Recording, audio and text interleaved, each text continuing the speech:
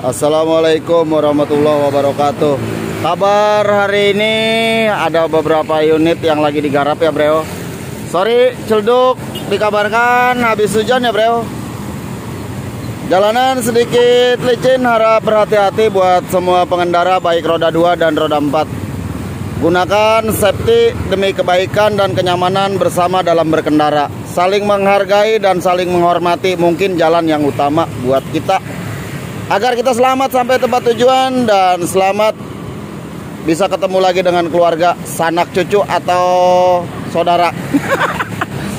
Balik lagi bersama channel SKR Racing Gas. Kali ini gua akan kasih sedikit pengalaman dan curhatan atau tips ya. Nah ini gua udah punya knalpot AHM ya bro. Mang, AHM bukan mang? Ya, AHM. AHM. Tahu dari mana mang? Ada. Ada tulisannya. Emang sekolah mang? Enggak. Enggak. Oke, di mana si AHM ini udah gua robah saringannya ya, Bro. Buat kalian mungkin yang baru mengklik video ini dan belum tahu video-video tentang restorasi knalpot, bisa cek tentang restorasi knalpot AHM di video SKR Racing Ecos. Oke, sebelum gua lanjut dan gua terangkan, baiknya kalian kasih semangat dulu untuk kami agar kami bisa terus berkarya dan bisa terus berkiprah di dalam negara bangsa Indonesia. Aduh, berisik ya, Bro. Maklum ya di jalanan ya. Nah, ini kayak gini, Bro. Ini gua akan sedikit terangkan kenapa gua kasih dudukan macam kayak gini ya. Jadi gini, Bro.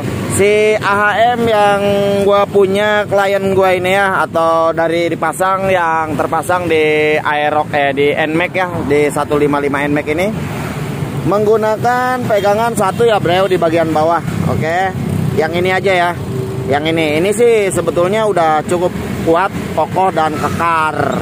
Cuma kali ini gue menyaksi uh, apa ya uh, sanksi ya karena di mana si Matic ini knalpotnya ikut geter dengan bagian mesin ya atau ikut gerak lengan ayun jadi gue kasih penguat satu ya bro di bagian bawah kayak gini jadi buat kalian mungkin yang knalpotnya sering patah atau sering rusak uh, bisa pakai tutorial ini ya. Nanti setelah dicat dan pemasangan gua kasih tahu lagi, Bro. Tapi setelah kalian sobrek. Oke, seperti itu keadaannya. Ini gua udah rapi ya, Bro. Emang ada barang-barangnya, Mang. Bos-bosannya sama ininya. Sama U-nya. Hah? Di di dalam? Oh, ininya. Iya, bahan bahannya. Bahannya. Sorry bro, nanti gue ambilin dulu bahannya ya. Uh, eh, gue terangkan sedikit. Jadi buat kalian juga bisa berkunjung kok. Kalau mau dibikin kayak gini AHM-nya ya buat lebih kuat lagi pegangan di bagian bawah bisa datang langsung ke Jalan Raden Patah Cilduk Tangerang atau via WA ya bro di 0815 13 94 37 98 atau bisa tulis di kolom komentar insya Allah gue coba untuk secepat mungkin atau seagresif mungkin atau se apa ya direspon sebaik mungkin ya bro buat kalian yang mungkin belum direspon dan komentarnya belum dibalas harap tunggu ya. Karena kami juga di sini sedikit punya kesibukan ya. Oke bro nah ini saringannya juga udah ke dalamnya gue ganti ya bro ya udah gue ganti nanti kita saksiin aja nih atasnya terlalu ngeblar katanya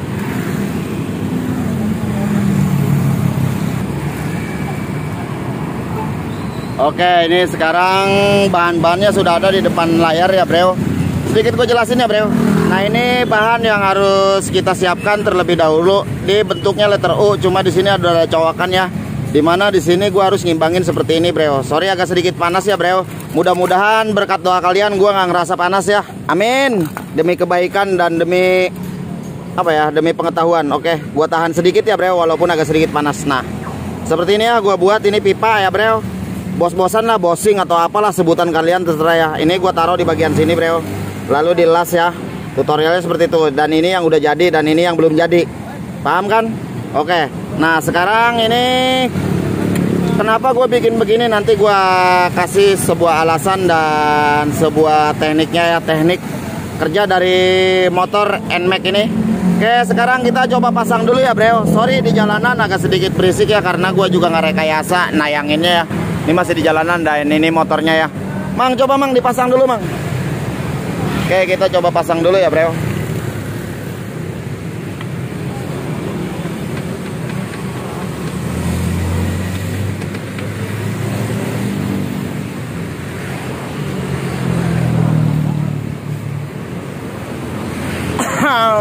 Batuk dikit ya. Nggak usah terlalu kencang-kencang mang, buat jelasin aja mang ke rekan-rekan semua. Awas minggir, orang ganteng mau ngomong. Oke sudah terpasang ya bro Cuma nggak gue kencengin sengaja ya bro Nggak gue kencengin ini hanya buat tutorial aja Membantu kalian mungkin yang punya masalah Atau yang punya penyakit Atau yang punya sedikit kendala ya Dengan berbagi uh, Dengan beberapa uh, pengalaman. Jadi ini udah terpasang bro Cuma nggak gue kencengin bautnya ya. Jangan komen loh Orang bautnya nggak gue kencengin. Itu oplak-oplak aja loh Ya kayak gini ya. Nah ini sengaja ya bro Nggak gue kencengin. Ini bukan tutorial. Ini udah rapi eh belum ya. Belum ya belum rapi ini belum gua cat nah ini belum gua cat masih berantakan kayak gini ya. Cuma gua hanya buat tutorialnya aja. Semoga kalian paham dan semoga kalian ngerti dan semoga kalian bisa memanfaatkan dari hasil video ini. Dan gua berkah ngasih tutorial ini. Mudah-mudahan amin. Dan gua selalu sehat ya. Itu yang gue inginin. Oke kita semua mau sehat. Yuk tonton terus video ini. Nah jadi gini bro si uh, apa ya? Nmax 155 karena sini ada tulisannya gue baca ya. Gue nggak tahu nih jenis apaan. Nmax 155 dari Honda. Dari Honda ya jadi Nmax dari Honda ya. Dari Yamaha ya. Dari Yamaha udah bang ah. Canda aja lu malih Nah ini bro, jadi gue sedikit penjelasan. Jadi si mana gue kenapa gue kasih ini di bagian bawah lagi satu lagi ya. Ini permintaan bukan permintaan gua bro kalau permintaan gua nggak begini ya. Permintaan gua minta baru bro biar dia beli barang gua bro jujur ya. Nah ini tadi sharing sama yang punya biar lebih kuat. Jadi gua kasih uh, pegangan di bagian bawah lagi bro jadi di mana kenapa gua dan bagaimana? Karena alasan gua gini bro si Matic ini kan mesinnya ikut ngayun ya sama roda ya. Di, ada ngayun jadi uh, si knalpot pasti ikut ngayun. Ngayun begini bel. Ngayun ngayun ngayun ngayun tidur. Ngayun ngayun ngayun tidur. Ngayun ngayun ngayun tidur. Nggak tidur tidur bro lo nggak tidur tidur bro malah ketawa. Ah malih malih Oke bro, jadi kayak gini ya, udah selesai ini pengerjaan, nih saringan udah ganti dan ini udah gua kasih uh, apa ya? Uh, pegangan bagian bawah. Insya Allah kuat kokoh kekar dan nyaman dibawa ke mana pun ya. Oke jika kenapa gua kasih begini? Biasanya ada keretakannya entah di bagian sini entah di bagian sini entah di bagian depan sini ya bro kayak gitulah mungkin pemakai beberapa ada beberapa pengalaman silahkan tulis di kolom komentar ya. Dan bahan yang gua gunakan seperti ini nggak ada rekayasa ya nggak ada inian buat kalian mungkin yang masih penasaran bisa datang bisa ditonton kok sendiri ya. Cara ngelasnya cara apanya gua nggak pernah rekayasa gua nggak pernah ngada-ngada tapi begini adanya ya. Celduk hujan ya bro baru baru selesai hujan. Jadi baru gua keluar nih ya baru ngerjain. Oke setelah kalian paham dan kalian mengerti gua juga mau pamit undur. Takutnya kenal potnya ini mau dicet dan orangnya mau pulang tapi setelah bayar ya. Kalau nggak bayar kan bannya gue copotin bro bagian depan dan bagian belakang. Oke seperti itu. Mudah-mudahan video ini bermanfaat dan berguna bagi pengguna otomotif khususnya pencinta otomotif ya khususnya umumnya buat seluruh bangsa dan negara Indonesia yang mengerti bahasa gua. Begitu aja. Buat kalian yang nggak ngerti silakan bisa tulis di kolom komentar. Insya Allah gua jawab ya. Buat kalian yang mau datang silakan ke Jalan Raden Patah Cilduk Tangerang atau via WA ya 0815 13 94 3798 atau bisa juga ya tanya-tanya di media sosial IG atau Facebook SKR Gondrong ya. Oke bro Oh pengetahuan dikit ya pemberitahuan dikit uh, eh, SKR Gondrong Facebooknya udah penuh ya jadi silakan kalian ke SKR Vlog ya buat pertemanannya oke bro sampai jumpa di video lainnya wassalamualaikum warahmatullahi wabarakatuh bos ada yang mau disampaikan nggak bos Hah? nggak ada sampaikan dong bos Nah, kenapa kamu disampaikan?